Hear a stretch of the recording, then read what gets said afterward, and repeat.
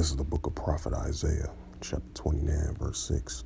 Thou shalt be visited of the Lord of hosts with thunder and with earthquake and great noise and storms and tempests and the flames of iron fire. Shalom, first and foremost, I'd like to give all praises and glory and honor to, to Yahweh, Ba'ashem, Yahweh Shai, Ba'ashem, Akarkadash. Shalom to the uh, elders, Wa'akim, Wa'akwaf, and I say Shalom.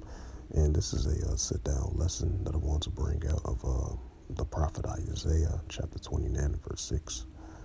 And it reads, Thou shalt be visited of the Lord of hosts with thunder and with earthquake and great noise and storms and tempests and flames of iron fire.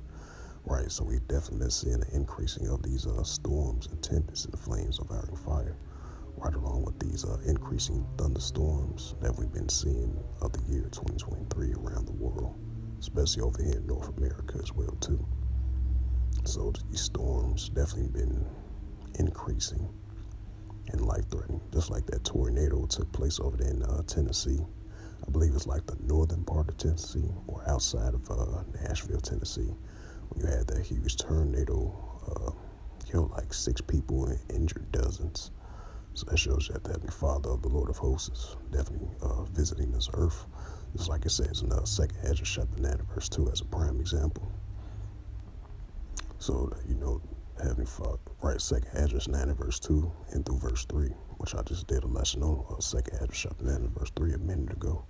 So that shows you that with these uh, increasing high mac, high impact of these weather conditions, that the Heavenly Father is visiting this earth now, so more than ever. So we're going to continue to see more uh, increasing signs of these uh, earthquakes in diverse places, right along with the uh, flooding, storms, landslide, mudslides, etc. So these weather patterns definitely been taking a toll on this whole world. So that shows you a, a sign right there that the Heavenly Father, you know, the Lord of hosts is visiting this earth with these uh, weather-like conditions, these very serious, life-threatening uh, weather-like conditions, you know.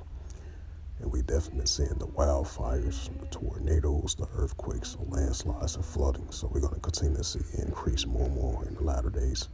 So this is the book of Isaiah, chapter 29, verse 6. Thou shalt be visited of the Lord of hosts with thunder and with earthquake and great noise and storms and tempests and the flames iron fire. Wildfires been leading to the state of emergency. You know, wildfires been increasing. Tornadoes been increasing. Thunders been increasing. Hails, fire, landslide, mudslide, floodings, and etc. So it's only going to increase you know, so the Heavenly Father is going to continue to increase the visit this earth now, so more than ever, because He's the creator of everything. So it has nothing to do with climate change, Mother Nature, or the changing of climate or China climate change. No, it has something to do with the Heavenly Father. So we got to give credit to the Heavenly Father because He's the creator of everything, uh, Yahweh of Israel. So the Lord of hosts, Yah, uh, Yahweh of hosts, is going to continue to visit this earth with these weather-like conditions, you know.